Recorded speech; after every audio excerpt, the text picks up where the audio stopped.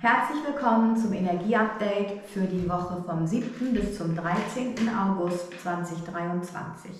Mein Name ist Heike Bartels und ich möchte gern mit euch teilen, was mir meine Guides, das sind aufgestiegene Meister, für diese Woche mitgegeben haben. Das erste Thema ist der tägliche Fokus. Und ja, das kennen wir alle. Seit äh, 2020, das haben mir viele immer wieder gesagt, ist das das, was sie rettet und ihnen durch diese Zeit hilft, sich wirklich auf das zu konzentrieren, was jetzt gerade genau an diesem Tag, in diesem Moment dran ist und nichts weiter, nur einfach das. Ja, heute geht es darum, dass wir mit der ja, Überforderung, der unglaublichen Fülle an Informationen und dem, was geschieht, umgehen können und uns nicht in der äußeren Welt verlieren mit, ihrer, mit ihrem Lärm und Getöse. Und das andere oder der andere Punkt ist, dass wir vorbereitet werden für das Jahr 2024, wo nochmal sehr viele Veränderungen stattfinden. Ja, zu Punkt 1. Es geht also darum, die Zeit zu finden und den Raum, um sich zu regenerieren, um sich zu erholen und auch wenn man sich etwas niedergedrückt fühlt, sich wieder hochzuholen, ja, wieder rausgehen zu können. Ne? Erfüllt, neu angefüllt und wieder okay zu sein damit. Und der Punkt, sich in der Außenwelt zu verlieren, die Energie darin abzugeben, ist natürlich auch sehr wichtig, denn wir möchten bestimmte Dinge in diesem Leben verwirklichen. Und wenn wir unsere Energie auf das Außen lenken, dann sind wir abgelenkt und geschwächt, was unsere eigenen Ziele angeht. Und das ist gewollt, aber nicht von uns. Und deswegen ist es wichtig, wenn du deine Ziele durchsetzen möchtest, dass du deine Energie sammelst und fokussierst auf das, was du möchtest.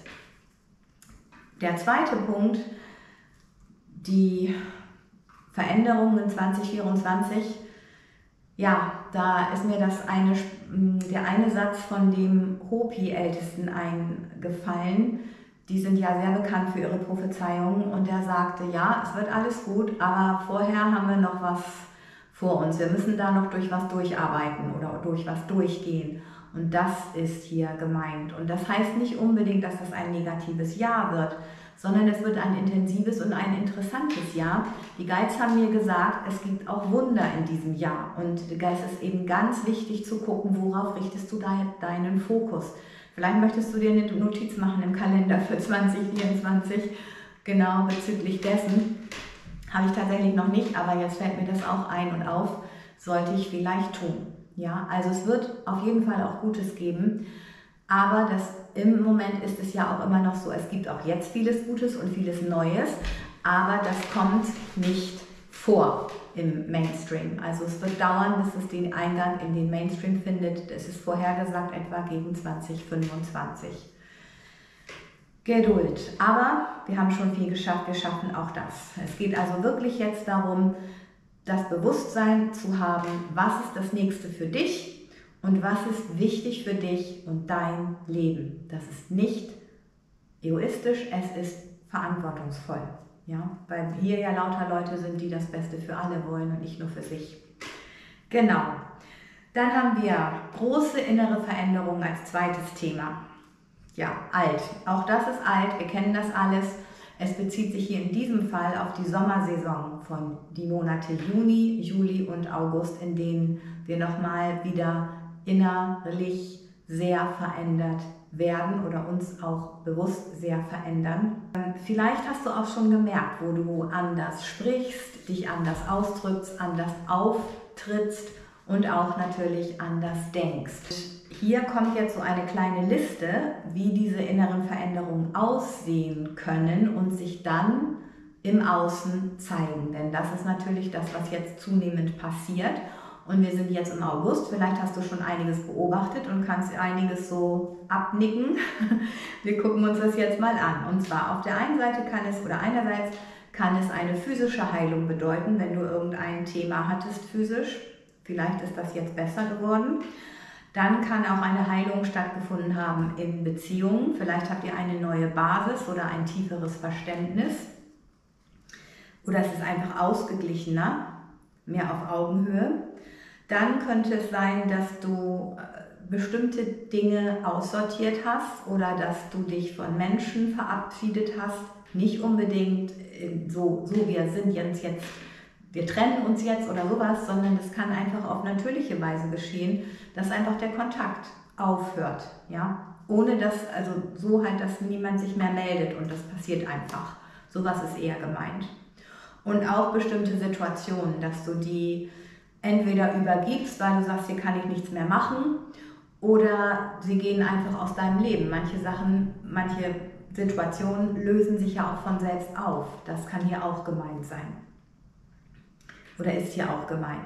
Und dann könnte es sein, dass du zu plötzlichen Einsichten kommst, die deine Perspektive verändern, sodass du dich zum Beispiel entscheidest, beruflich in eine neue Richtung zu gehen, was bedeuten kann.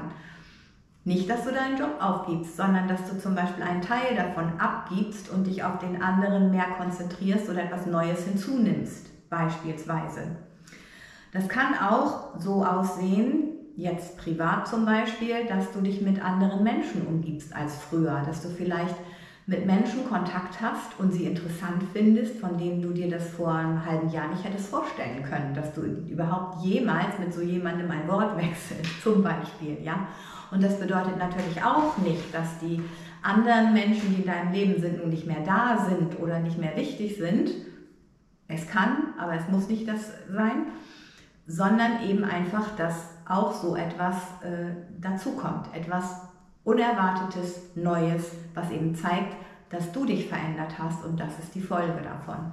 Und dann kann es auch so aussehen, dass du neue persönliche Ziele hast oder dass du ein Talent entdeckst, von dem du bisher gar nicht wusstest, dass du es hast und dich dann dafür entscheidest, das jetzt auszubauen, zu vertiefen, vielleicht auch zu lernen und dann mal zu gucken, wo dich das hinführt. Und das ist eine, immer eine gute Idee, denn wenn uns etwas wirklich erfüllt, das ist eine wundervolle Frequenz, die alles andere auch mit nach oben zieht in unserem Leben und dafür dann natürlich einen sehr positiven Effekt immer hat auf uns, auf das Umfeld und damit auf den Planeten. Es kann auch sein, dass du das Gefühl hast, dass du gerade feststeckst oder frustriert bist. Und das ist nichts Schlechtes, Und es ist auch nicht so, dass wenn du jetzt sagst, ja, damit gehe ich in Resonanz mit dem Rest nicht, dass du dann jetzt hier der Loser bist oder so etwas. Nein, überhaupt nicht. Es geht dann einfach nur darum, den Fokus von dem, was dich gerade frustriert oder wo du das Gefühl hast, du steckst fest, wegzunehmen und auf etwas zu richten, was dich erfüllt. Und alles, was uns erfüllt, es geht ja immer um Energie und Energie ist immer in Bewegung. Und wenn wir Energie bewegen auf eine freudvolle Weise, die uns halt wirklich Spaß macht, dann wird sich in den Bereichen, wo das gerade nicht der Fall ist, auch etwas bewegen. Und das heißt, dass wenn du jetzt einfach mal vergisst, was dich frustriert und dich völlig anderen Dingen widmest, dann wird sich da auch etwas bewegen. Und dann kannst du sehen, okay, in welche Richtung geht das? Was kann ich da jetzt tun? Was bin ich aufgefordert zu tun? Und dann wird sich das auch lösen.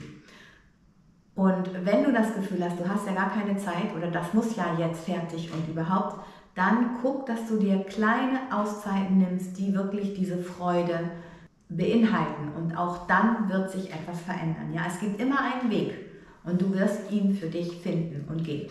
Ja, also es geht wirklich darum, ähm, mit all diesen Veränderungen, dass man gesunder und gesünder und glücklicher und authentischer wird. Und wenn wir das sind, ähm, dann lieben wir uns selbst automatisch mehr und auch unser Leben. Und das ist hier das Ziel. Darum geht es. Und darauf bezieht sich jetzt auch die Botschaft der Meister. Denn ähm, wir sind alle miteinander verbunden und wir wissen nie, wie viel Effekt wir haben auf die anderen, ja, wie sehr wir sie erreichen und was das für sie bedeutet.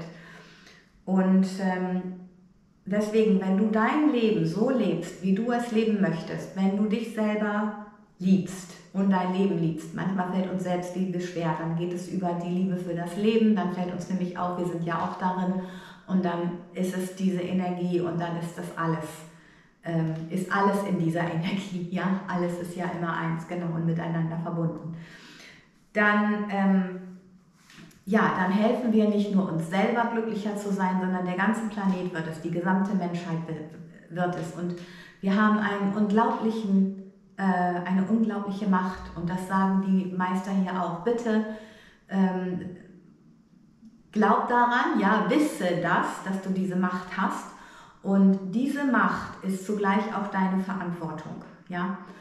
Du kannst dein Leben verändern und damit diesen Planeten verändern. Damit gibst du allen das Beispiel, die Inspiration, das eben auch zu tun. Die werden mitgenommen von dieser Energie und das, das ist das, worum es geht. Und dann verändert sich alles.